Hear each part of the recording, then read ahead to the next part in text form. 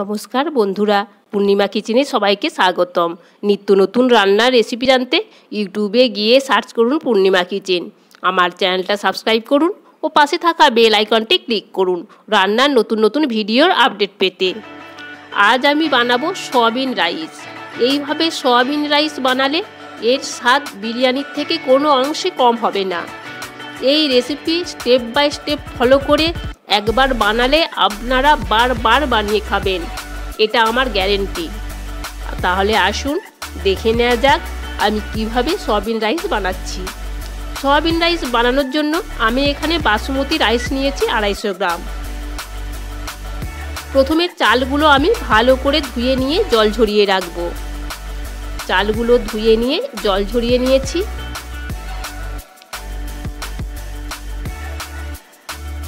এখানে জল গরম করে নিয়েছি। দিয়ে দেব ছোট ছোট সাইজের অল্প সয়াবিন। সয়াবিনগুলো নরম না হওয়া পর্যন্ত ফুটিয়ে নেব। প্রায় এক মিনিট ফোটানোর পর সয়াবিনগুলো নরম হয়ে গেছে, গ্যাস বন্ধ করে দিলাম। এবার সয়াবিনগুলোকে ঠান্ডা জলে তিন চারবার জল পাল্টে পাল্টে ধুয়ে নেব। তারপর হাতে করে চেপে চেপে সয়াবিনের ভেতর থেকে জল বার করে নেব।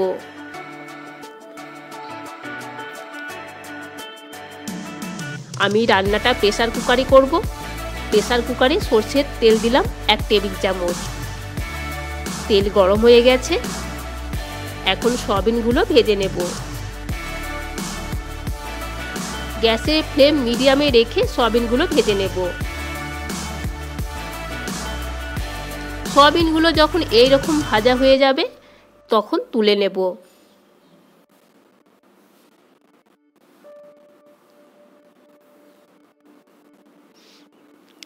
প্রেসার কুকারে তেল দিলাম তিন টেবিল চামচ।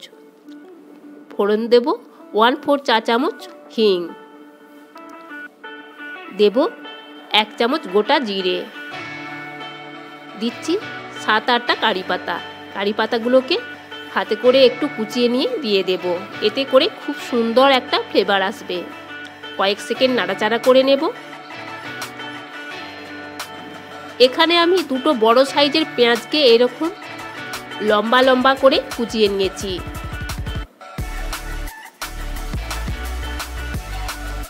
একটা বড় সাইজের টমেটোকেও এরকম লম্বা লম্বা করেই কেটে রেখেছি। ফোড়ন হয়ে গেছে। এখন পেঁয়াজগুলো দিয়ে দেব। মিডিয়াম ফ্লেমে আমি পেঁয়াজগুলোকে ভেজে নেব।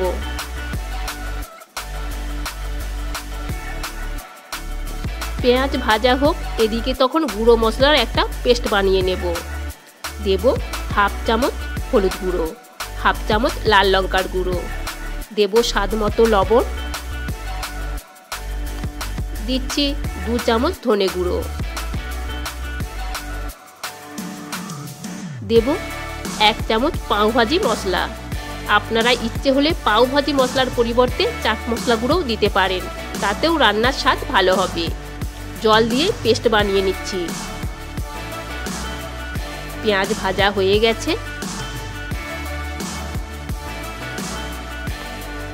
দেব কাঁচা লঙ্কা কুচি। ঝাল আপনারা আপনাদের স্বাদ বুঝে দেবেন।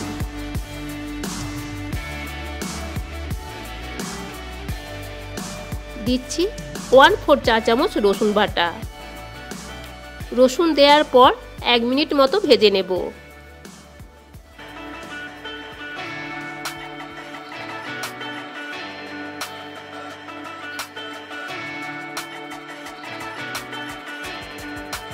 এবার আমি মশলার যে পেস্টটা বানিয়ে রেখেছিলাম, ওটা দিয়ে দেব। মশলার বাটিটা ধুয়ে আমি আর একটু জল দিয়ে দিলাম। নাড়াচাড়া করে মশলাগুলো ভেজে নেব।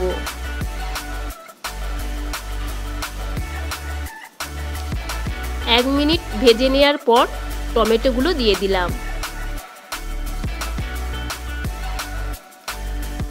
টমেটোগুলো নাড়াচাড়া করে ভেজে নেব। টমেটোগুলো আমি একেবারে গলিয়ে ভাজবো না।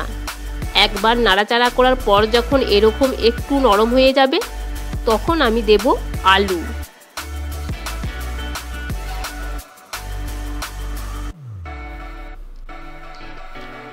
আলুগুলোকে আমি এই রকম পকোড়ার মতো পাতলা ও গোল গোল করে কেটে নিয়েছি। এই রকম করে কাটলে আলুর সাথে খুব ভালোভাবে মশলা মিশে যায় আর খেতেও খুব ভালো হয়। তবে আপনাদের ইচ্ছে হলে অন্য সেবেও আলু কেটে নিতে পারেন।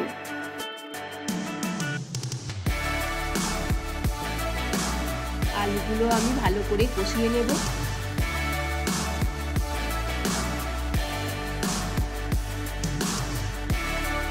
আলুগুলো আমি দেড় মিনিট বসিয়ে নেওয়ার পর চালগুলো দিয়ে দেব।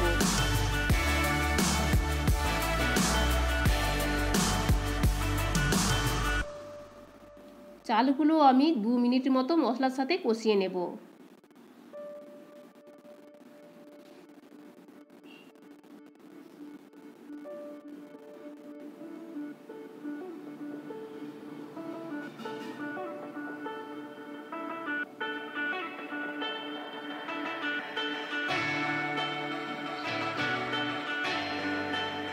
এবার আমি সোয়াবিনগুলো দিয়ে দিলাম।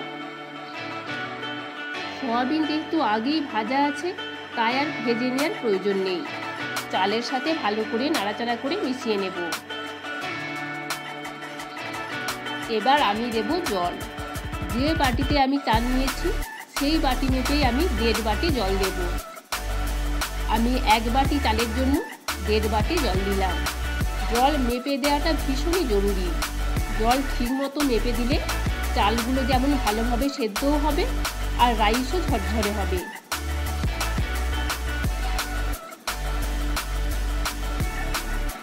এবার প্রেসার কুকারের ঢাকনা বন্ধ করে দিয়ে গ্যাসের ফ্লেম হাইতে রেখে দুটো হুইচেল দিয়ে নেব। তারপর গ্যাস বন্ধ করে দেব। আর অপেক্ষা করব প্রেসার কুকারের ঢাকনা নিজে থেকে খুলে না যাওয়া পর্যন্ত। প্রেসার কুকারের ঢাকনা খুলে গেছে। ওপর থেকে ধনে পাতা কুচি ছড়িয়ে দিলাম। ধনে পাতা কুচি দেওয়াটা কিন্তু একেবারে অপশনাল ইচ্ছে না হলে অ্যাভয়েডও করতে পারেন।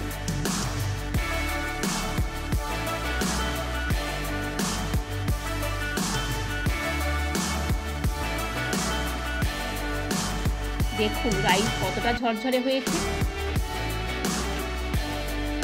আর খুব সুন্দর সেদ্ধ হয়েছে।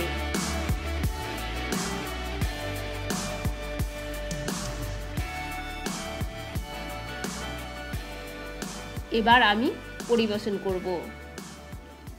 সয়াবিন রাইস, দই, রায়তা, আচার, চাটনি, পছন্দ মতো যে কোনোর সাথেই খেতে পারবেন। আবার শুধু শুধুও খেতে অসাধারণ লাগে। আপনারা এইভাবে বানিয়ে দেখুন, তারপর কেমন লাগল আমাকে কমেন্টে জানান।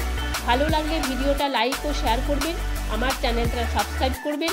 সবাই ভালো থাকবেন, সুস্থ থাকবেন। ধন্যবাদ।